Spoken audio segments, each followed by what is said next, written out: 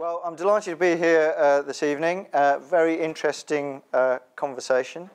Um, so the question is why? So why do we even need to sort of talk about this? And I think, you know, one of the things that's a hot topic at the moment is productivity. And, um, you know, the, uh, the construction industry is a very important industry economically. In the UK, it's about just under 6% of GDP. And globally, recent estimates have put it about $10 trillion uh, in terms of economic output. It's incredibly important, and actually more important than that is actually the economic output it enables is orders of magnitude actually greater than the construction value, right? Because great places where we work, you know, that is economic output.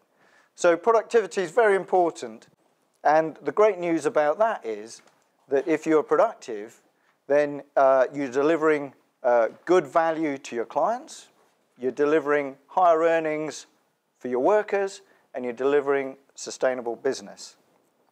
So that's why it's so important.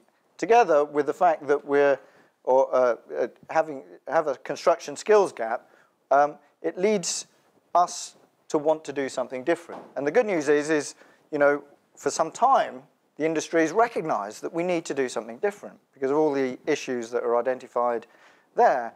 And I think it's even more important at the moment with the construction, with the industrial strategy, Brexit, these other storms, we need to change. We need to grab hold of our, our, our future and, and, and make it our own.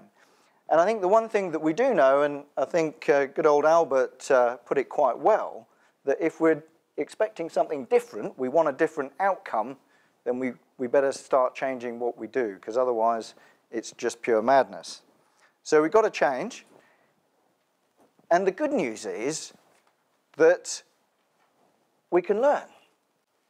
There are other industries that have so far been far more profitable than ours, who've invested a lot of money in research, development, lean production processes, and even automation.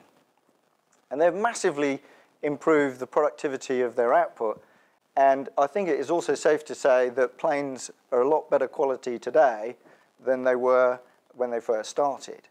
And uh, so, and similarly, you know, in, in automotive, you, put, you, you just get in and you expect everything to work. Is that where the construction industry is today? Um, so there's an opportunity there to, to learn from uh, what others have done uh, and try and give, offer our clients a better solution. I think today, uh, Sarah talked about bravery. I think today you've got to be brave to be a client in construction because of the uncertainty. Who knows what's actually going to turn up at the end of it? How do you really know how that stack of drawings there, how does that actually transform into a building?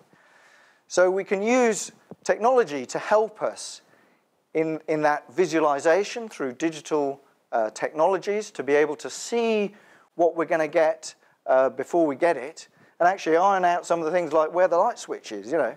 Um, so that's the opportunity. We can use production techniques to improve the efficiency of what we do and we can uh, pull that together in a way that delivers certainty to our clients uh, in, in, in, uh, in the way that they will experience what we get. So just to illustrate some of this, rather than talking about a circle, I'll, uh, I'll show some, uh, some footage.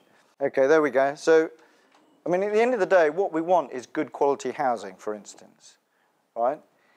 it, it needs to, it's, it's very important for um, uh, the way we live, but we can think about how we provide that housing in a better way that creates light space, uh, sustainable uh, uh, living through smart, intelligent control systems, um, linked with a wider system around our, our, our, buildings.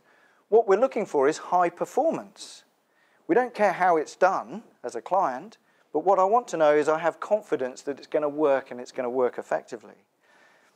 So uh, what we're experiencing is that uh, there is a different way of being able to deliver that. And already uh, we've experienced delivering uh, structural components through uh, automated manufacturing processes.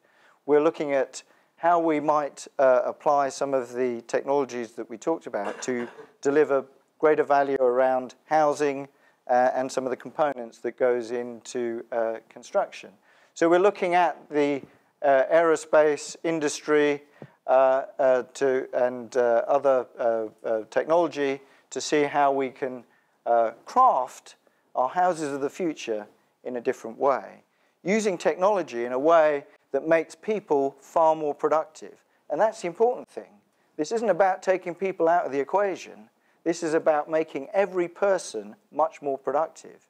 That means that they can deliver greater value uh, to our customers and uh, their intelligence can be uh, applied to actually the value-adding uh, activities rather than, as uh, they say in robotics, the dull, dangerous, or dirty. We don't want to do that stuff. We want to do the interesting stuff.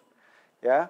So um, by uh, enabling uh, machines, some element of automation to do the dull, dangerous, and dirty stuff, we can get on, do the more interesting stuff in a much more productive way that actually provides much greater value, choice, and uh, elegance to our customers because we've spent all our effort on thinking about the design and the quality of the design and how we answer our clients' needs in uh, the modern city of the future rather than doing all the dull, boring stuff.